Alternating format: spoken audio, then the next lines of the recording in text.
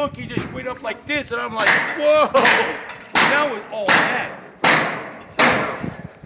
We'll watch it on the big screen tonight. The